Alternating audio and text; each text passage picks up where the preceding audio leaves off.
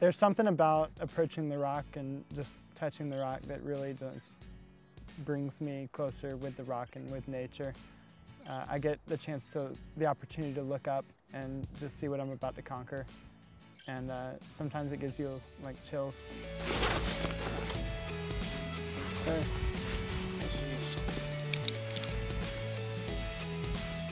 there's something about climbing just that continues to draw me in and uh, it's just addicting. Rock climbing gives me an opportunity to be in nature and just appreciate God's hands. There's a point in routes when you get to a really difficult part, but if you don't commit to it and know you're going to get it, you're not going to get it. You have to commit. The end of a perfect day of climbing is to uh, look at the sunset and uh, top out on a route and just um, finish off with an awesome view.